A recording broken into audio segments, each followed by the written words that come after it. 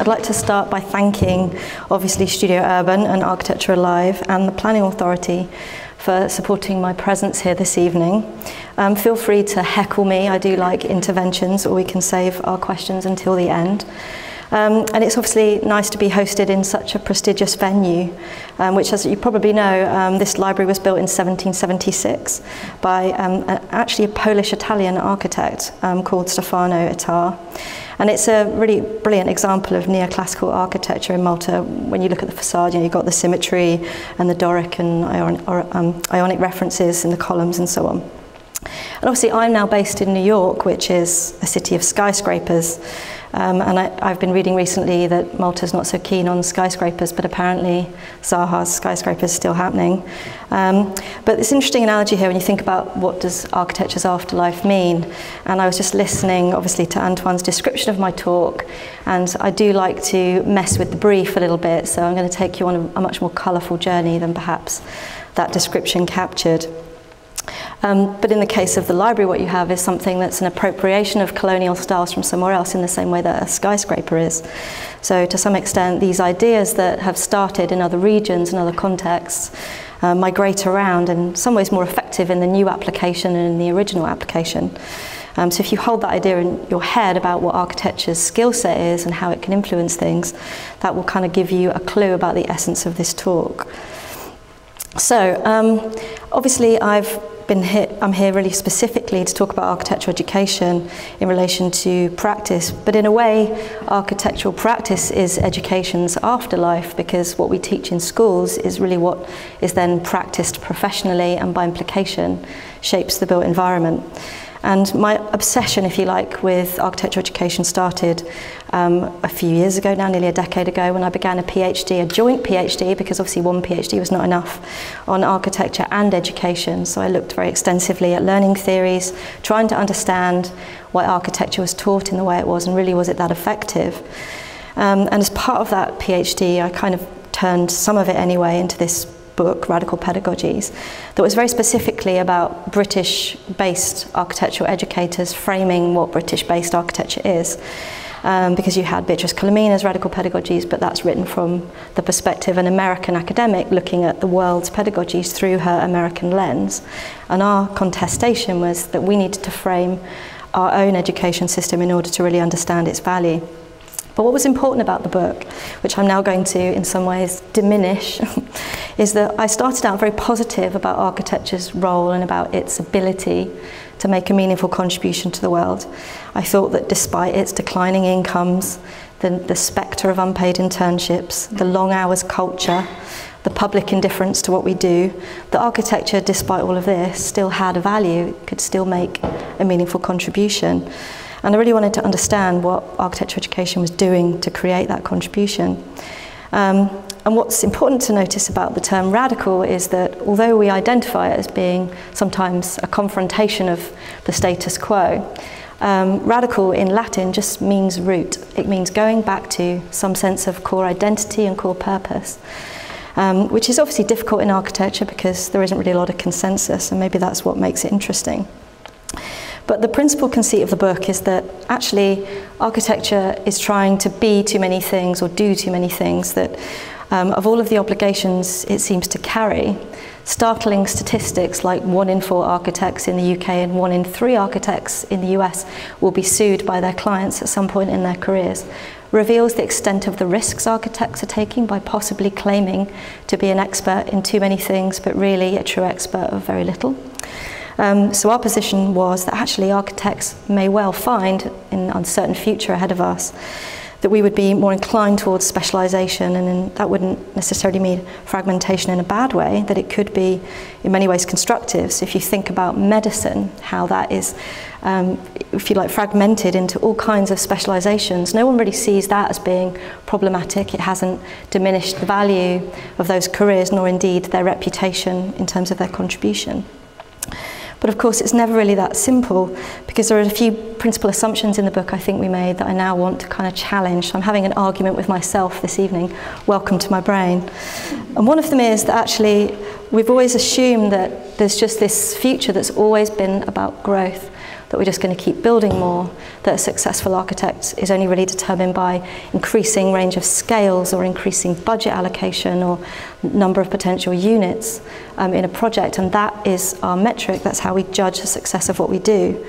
Um, and that, in fact, construction, because it's always been largely a boom and bust industry, as long as we're not in recession, there's an assumption that there'll just be more and more work and we can keep graduating more and more students to do that work. Um, but I think there's a kind of issue with understanding the fact that at the moment, forgetting about the construction industry, the external markets that really the construction industry is dependent upon are being called into question. Um, there is, and there's a really key reason why that is, um, but it's what we describe in economic terms, because I obviously spend a lot of time studying economics, as you can probably tell. Um, it's what we call contingency, so this idea that actually architecture, it could be um, outstanding as a profession, it could be exceptional. It has no, it has no bearing though if its ability, if its codependence and its interdependence on other markets and other issues isn't really understood properly. And I think that's what architecture has not really done. We measure ourselves against each other and not really about some of the wider challenges. But perhaps the biggest contingency of all is to think of the climate crisis. And I'm being very particular here about my terminology. I'm not calling it climate change. So the climate isn't changing, it's being, it's being pushed by us into collapse. Change sounds, seasons change, you know, we change clothes, we might change our tastes, but crisis is something else, you know, collapse is something else. And I think we need to use the terminologies that describe the problem accurately. So I think I bring this up because if I'm here to talk about the future of education, then we have to confront climate crisis as a curricular concern.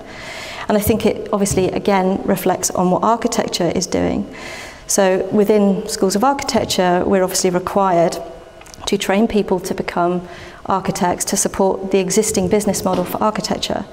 But if the existing business model is one that's really complicit in the destruction of the planet through its processes as well as its outcomes, then really what are the obligations of a school?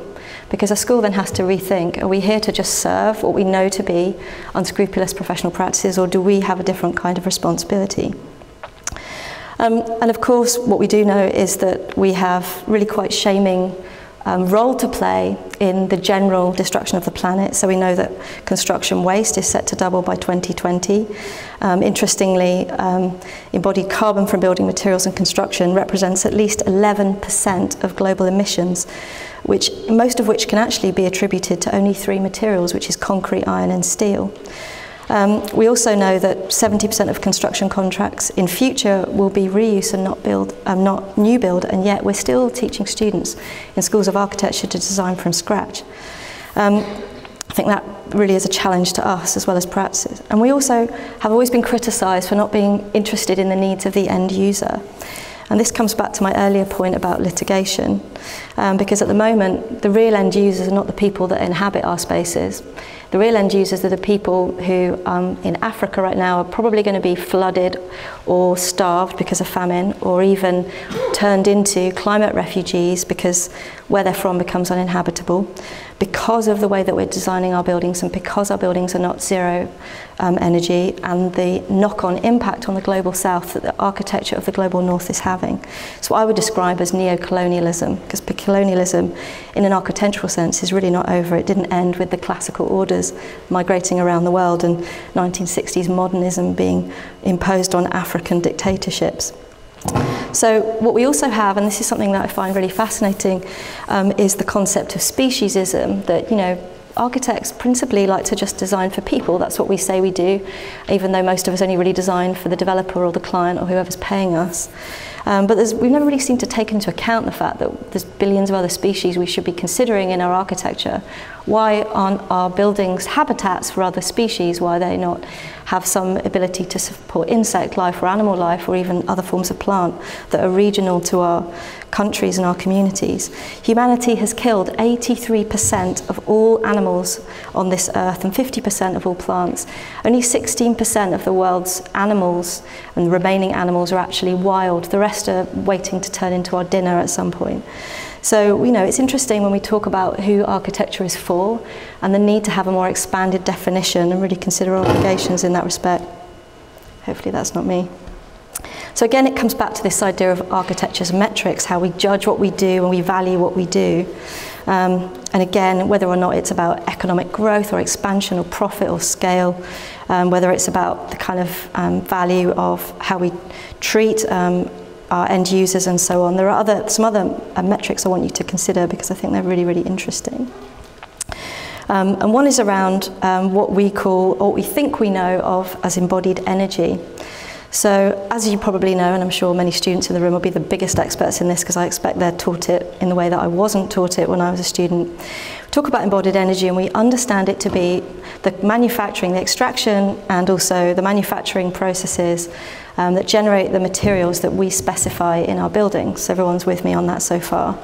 But what we don't do is we don't think about what we're now calling energy. So Emergy really is a way of describing, um, and it comes from the work of ecologist um, Howard Odum, in case you don't know, and Kiel Moe's work, excellent scholarship, which I've referenced here in case you're interested. Um, what they were looking at is how, what, how the construction industry fails to understand that energy is only really calculated up until the point that that I-beam or that concrete panel is produced. There's no understanding, no metric capture of what it costs to deconstruct that panel, what it costs to then recycle it or degrade it or even detoxify it because obviously many building materials when they deteriorate become toxic, become pollutants. Um, and that's never really factored in. So we have a very broken and limited understanding of what embodied energy is. And again, it comes back to this litigation question. You know, at the moment we might get sued by living clients, but what if, you know, 50 years from now we're getting sued by people who are born 20 years from now, who are being born into a world where there's all these bits of broken infrastructure that we haven't been able to upcycle or bury or sell to the Chinese, rotting away, contaminating our environments. Then our, if you like, the whole um, category of potential litigious clients starts to really expand into whole new populations and whole new communities. So that's just something to terrify you with briefly. Um, but returning also to Kilmo's research, um, it's very interesting looking at what it takes to create a building. And I'm just going to show you this as an illustrative example. So this is a very small corner of Manhattan. Um, and obviously I'll, I'll refer to Manhattan now that I'm a native, sort of, because I spend a lot of time wandering around, mainly doing this, um, but trying to understand something about how this city came about and why so many cities are judged against it. You know, it's got a lot to answer for if you think about the, some of the iterations internationally that have happened in, as a mimicry of what New York is. So Kiel Moe's scholarship looks at the Empire State and it really perfectly illustrates the problem. So for example, you may be interested to know that um, only, and this is important, only um, six workers died building um, the Empire State um, building because in fact 60 died building the World Trade Center. So there's another metric here, which is human capital in the building sites.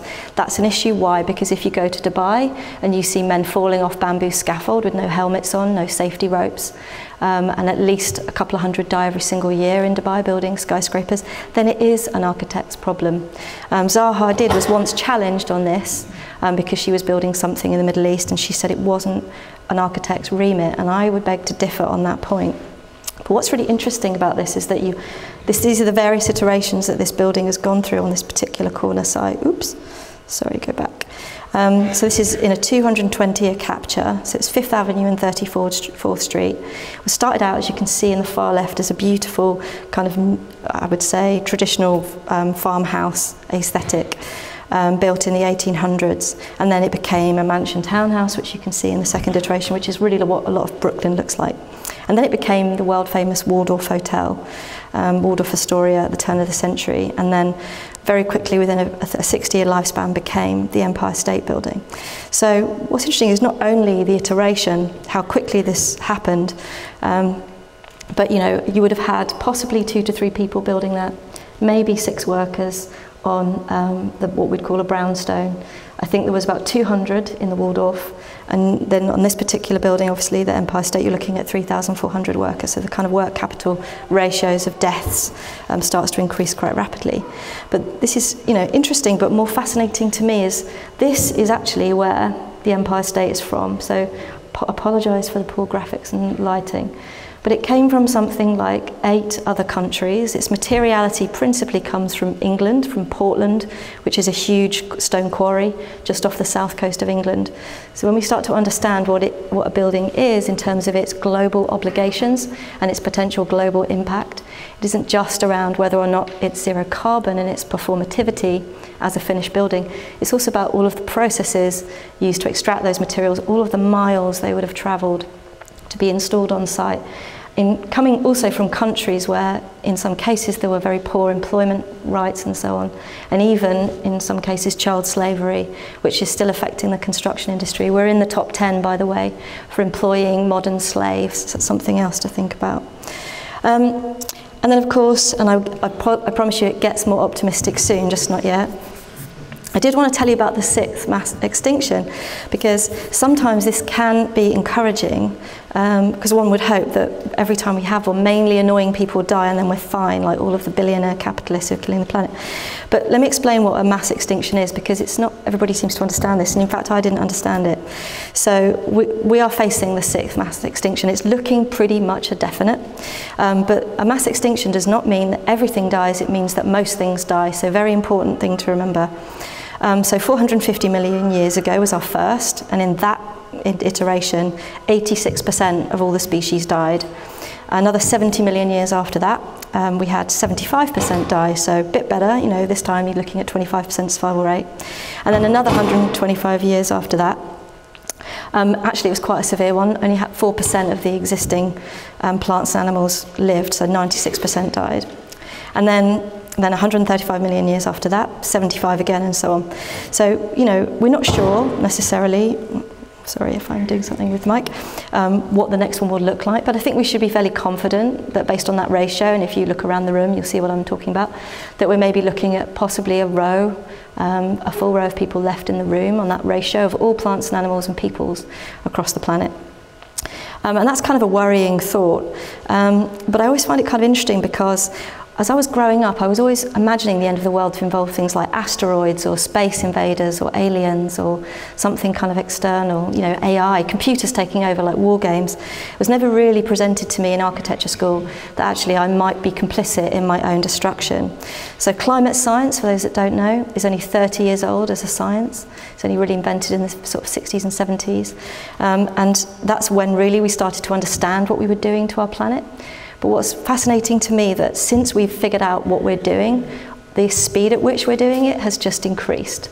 So you would think that with knowledge of the destruction, we might slow down or even try to reverse the speed, but we're actually doing more damage than we ever were. So where is architecture in all this? We have to ask ourselves. And one last thought, it only took a, a temperature difference of five degrees to trigger all the last mass extinctions. We're already on course. So I'm going to get to the optimistic bit in just a minute.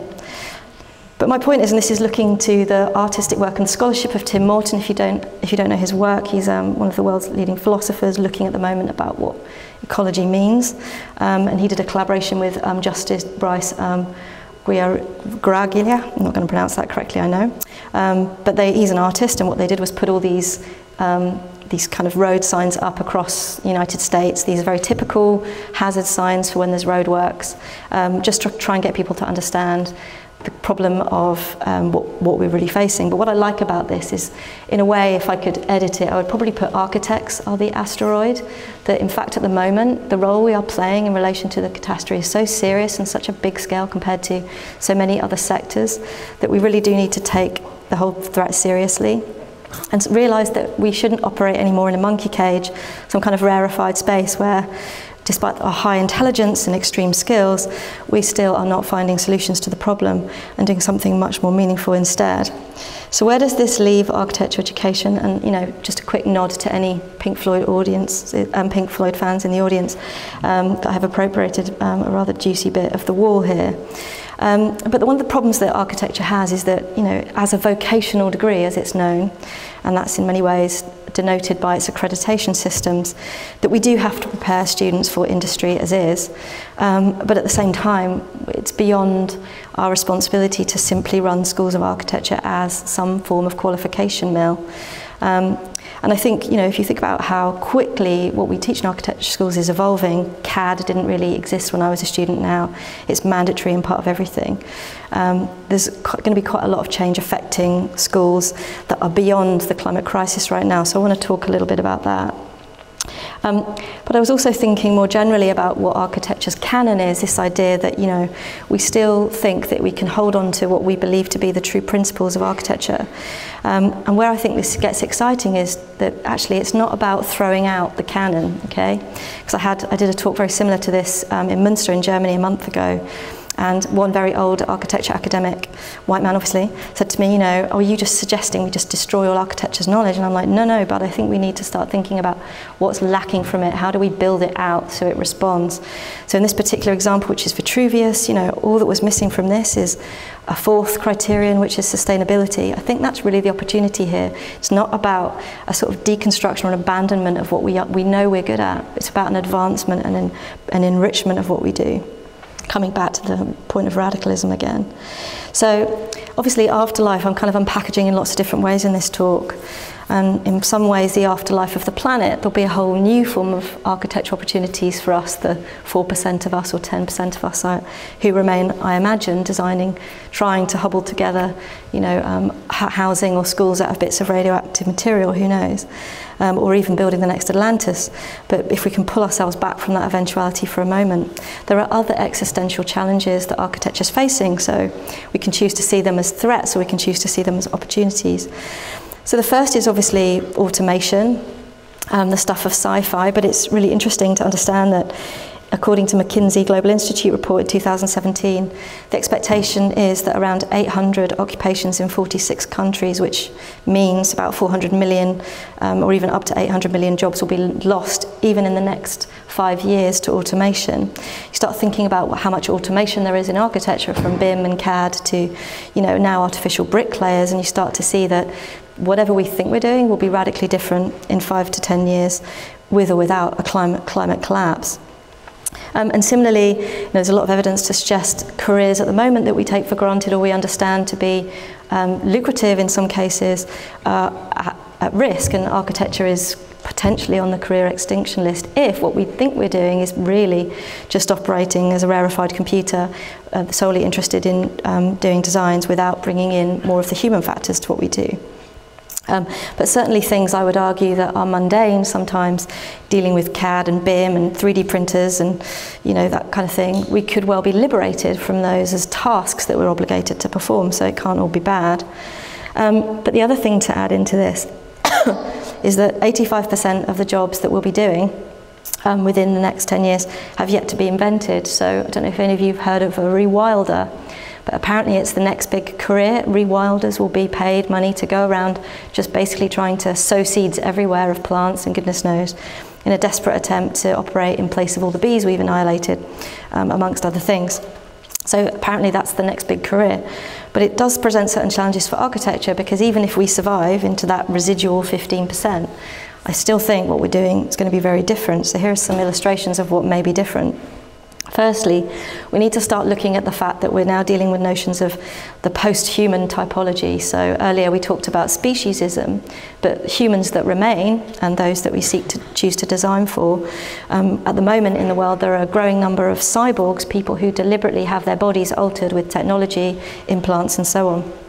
Um, and of course, as we start to design more and more AI competent and human replicants, as they're called, um, as sci-fi informed as they're called, um, you know, designing for accommodation for them will be quite different where does that leave architecture and its end user obligations?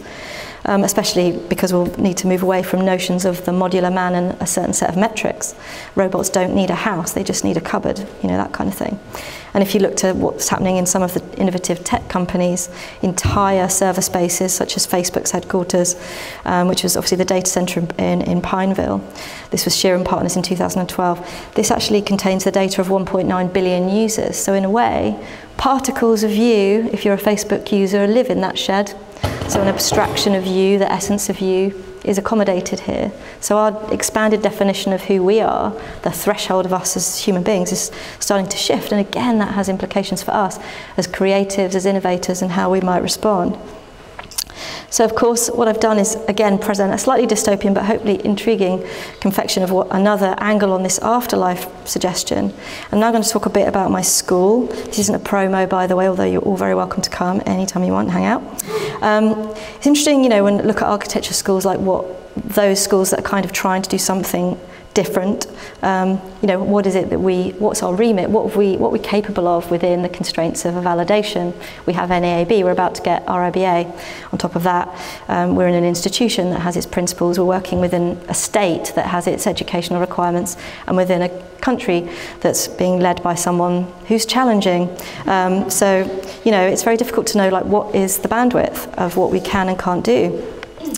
Um, so to talk a bit about our school, because I think Origins is always a good place to start. Charles Pratt, born into poverty, one of 11 kids, um, created Pratt um, on this particular site. So you can see here the kind of area of Brooklyn before it was turned into our institute. Um, and he made his money, having come from poverty, um, in the 1860s, but he did it in unscrupulous ways. So what he did was he had a big oil refinery and pumped loads and loads of waste into the East River and killed all the fish and all the plant life and everything else. So pretty bad stuff, and there still, re still remains enormous amounts of toxicity that they cannot shift. Um, so obviously he was operating at a time when he didn't really understand the impact of what he was doing. But at the same time, he believed that um, workers who worked in his refinery should have um, the right to decent housing, to be accommodated properly. So he was a pioneer of some of the most progressive forms of social housing in New York, housing that's still really recognised um, as being exemplary even today. As as extension of that, he built Pratt Institute and was the first school of architecture actually to admit women right from the inception of the school. Um, because he really believed that men and women should all have equal access to education and again that the working class of Brooklyn should have right to a free education. So in a funny kind of way, you know, it started out with, you know, poor guy becomes bad guy polluting the river, um, becomes good guy sort of because he created social housing in a school. So it's, I seem to be in a school that's essentially a washing machine on rinse cycle. But it, I think the values of it, you know, this idea of actually keeping it community engaged and inclusive is still something that underpin a lot of what we do. So coming back to this question of mandate, that does give me some agency to start shaping what I think the school can become. Um, of course, what we also have, and this is some 170 years later, is I'm dealing with students who haven't even applied yet and they email me all the time. I must get uh, at least 30 emails a week from students uh, or want to be students saying, you know, I'm worried about the planet. It's the principal concern of students right now. They say, well, I want to know that I can have the skills to deal with the problem. I want to know that I can make a difference um, will your school support me in being able to learn about these things? And I have to, you know, kind of pause before I answer the question because the truthful answer is we are trying, we are developing pedagogies and curriculum that we believe will give you those skills. But things are changing so quickly. You know, a big chunk of ice, you know, the Antarctic melted at the weekend, as I'm sure you know. The speed of change is so rapid, it's hard to even know what a relevant skill is from one week to the next. But you know, we have to make a commitment that we will at least try.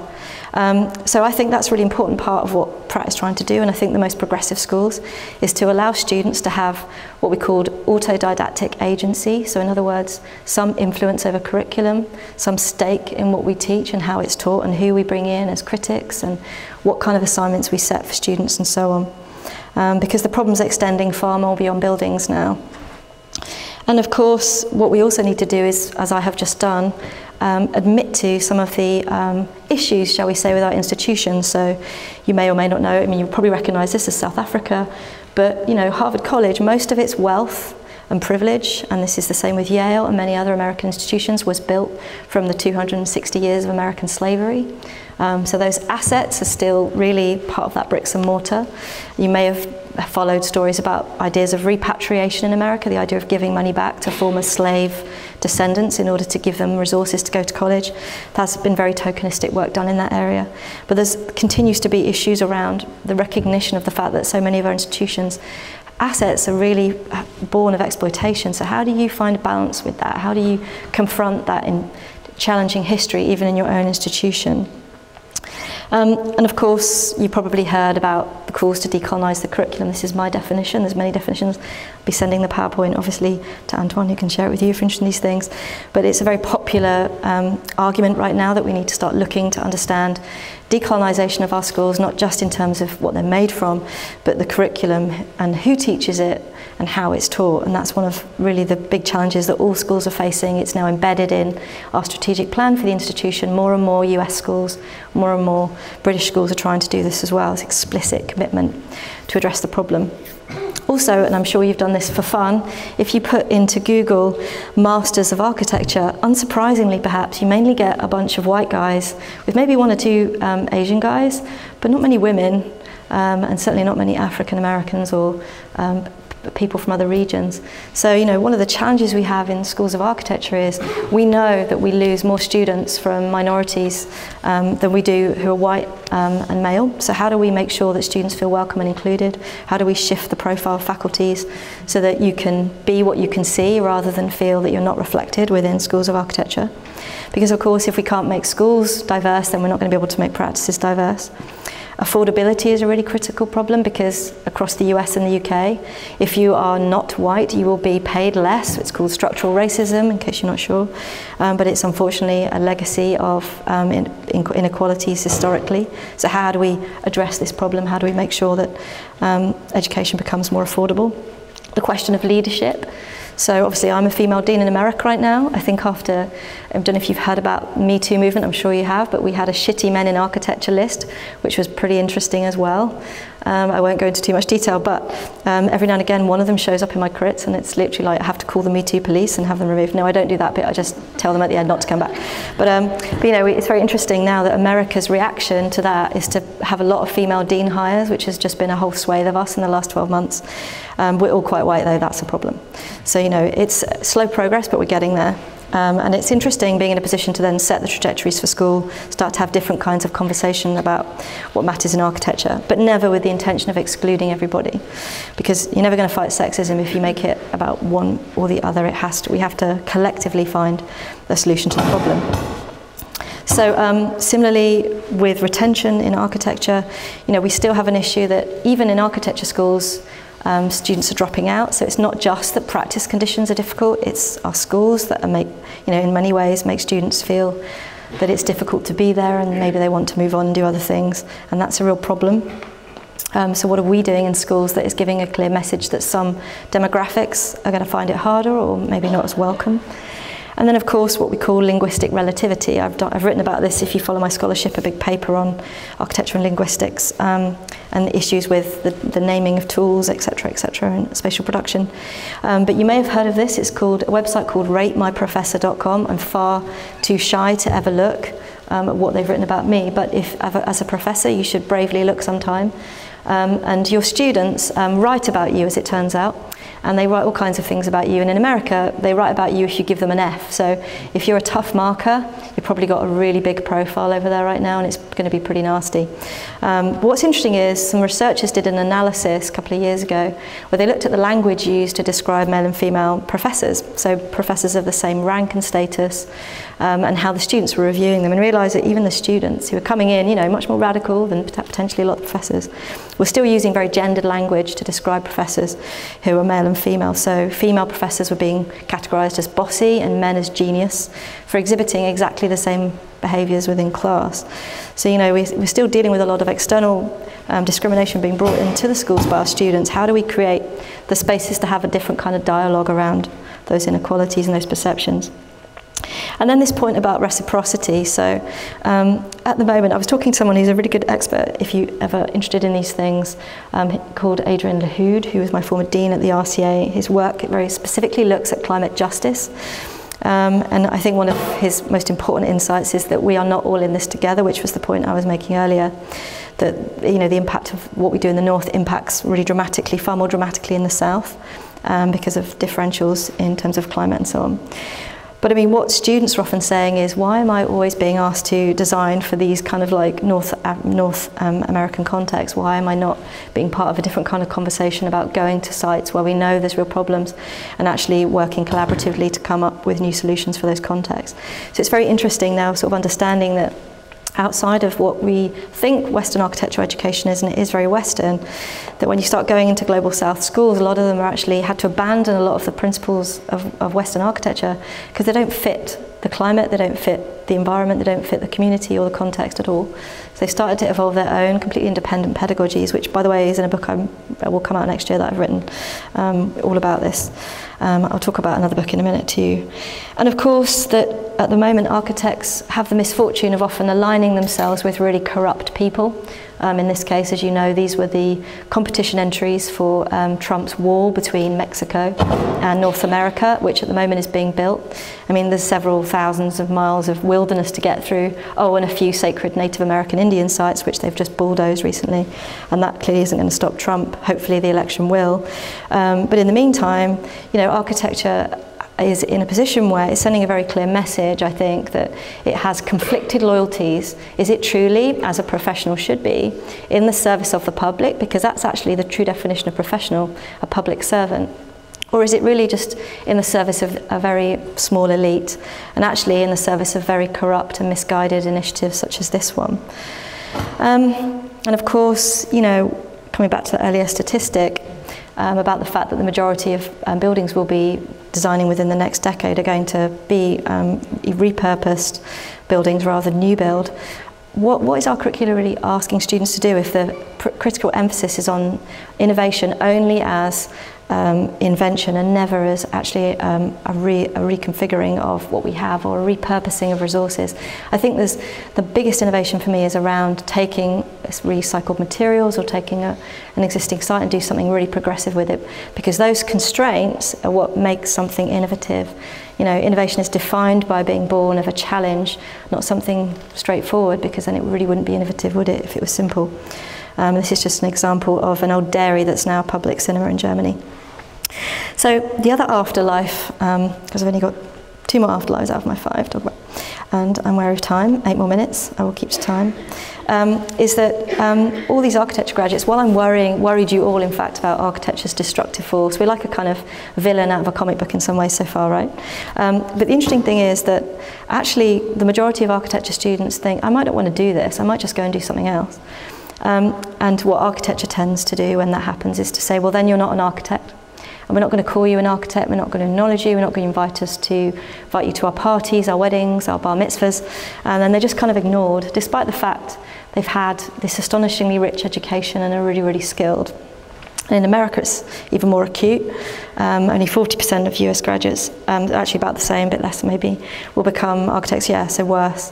So it's really interesting to me that, you know, when the majority of our students, and this is just two um, statistics, I'm actually doing a much bigger study across Europe um, to see whether this is reflected elsewhere. But when the majority of our graduates are leaving the profession, um, is that necessarily a bad thing?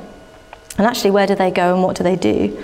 Um, and this again comes back to this notion of afterlife. Sorry, I have, I'm having a bad relationship with my mic.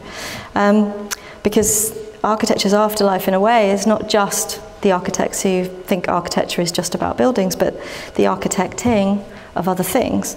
Um, so as an illustration, and these are two things I'm doing at the moment, I'm going to talk about. One, I was given 500,000 euro last autumn by the European Union, Erasmus Knowledge um, and Alliances study to look at where architects are, or architecture graduates are going, if not architecture. So now this is a pan-European study.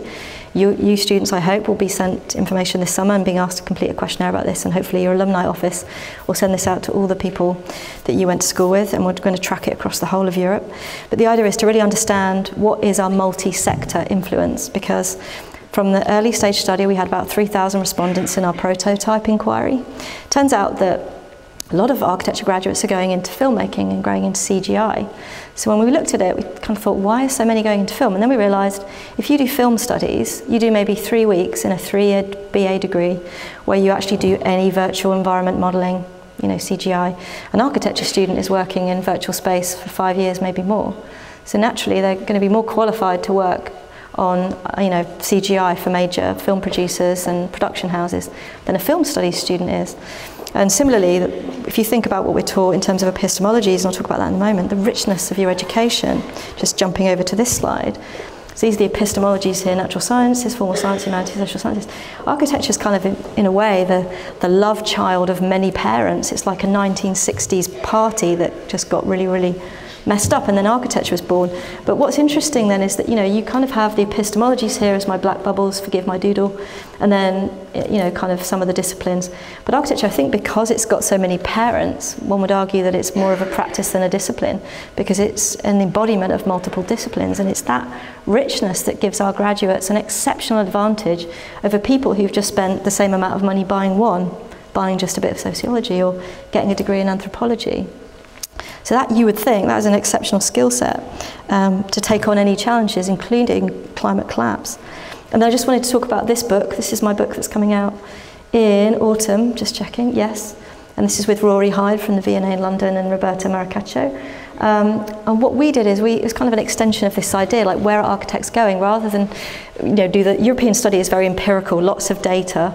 And I wanted to do something that was much more of a qualitative, narrative-driven account of this. So we interviewed people who've become filmmakers. So Gran Torino computer game turns out the woman behind it, and it's a woman in fact in this computer game, went to architecture school, dropped out and then did, designed the whole of Gran Torino. It's not designed by guys.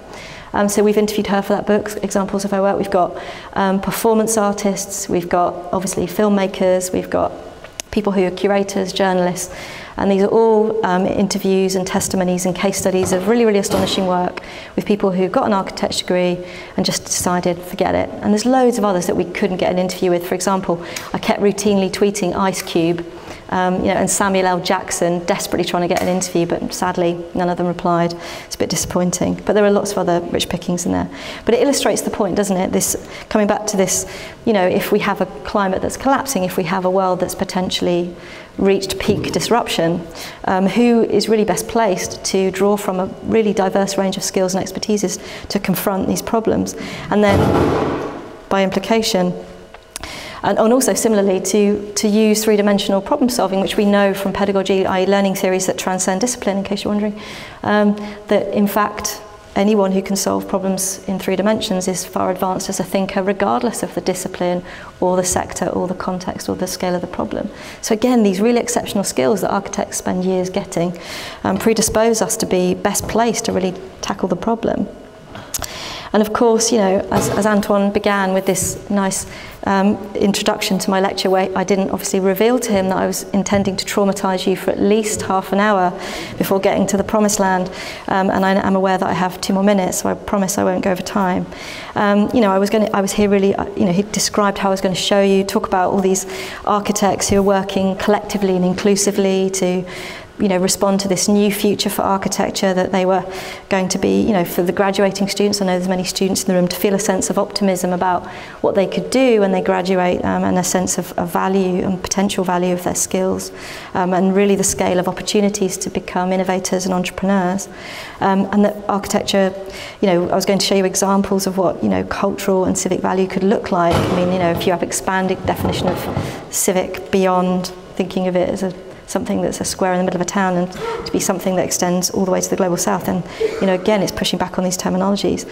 So what I've really tried to do is, you know, present that to you, but in a kind of slightly Trojan horse way, because my conceit is, in fact, that tomorrow's leading architecture practices are in this room. And I mean this because I think that at the moment we keep looking and we keep expecting somebody to come in and tell us that they've got a solution to what the problem particularly is. And what I didn't want to do is give you just a series of case studies this evening that showed you the who of how to be a different architect.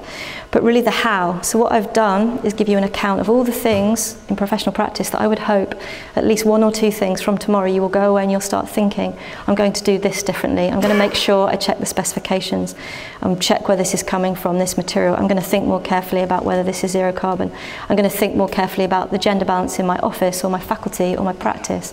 I'm going to start to understand what my obligations are to people beyond the client, beyond the person who's paying the bills, beyond the end user, to the next generation to the people living in an area that will be more directly impacted if I get this wrong. So I would hope that this evening what I've done is really put you in the driving seat of leading that change, of making you appreciate that the opportunity resides with you as much as the obligation does. Thank you very much for your time this evening.